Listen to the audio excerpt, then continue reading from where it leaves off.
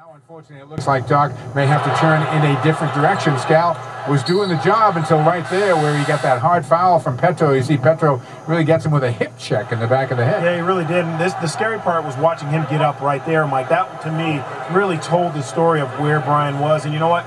You talk about three times getting hit like that, and yes, we can call it what we want. When you get hit in the head like that and you've had two concussions already, yeah. it's a scary thing. So, again, no Brian Scalabrine. It's going to hurt this team. We just hope that he's okay. You know, not that even if he won't step on the floor the next game against the Clippers, we just hope he's okay and can get back to the team and get back against the Clippers. We just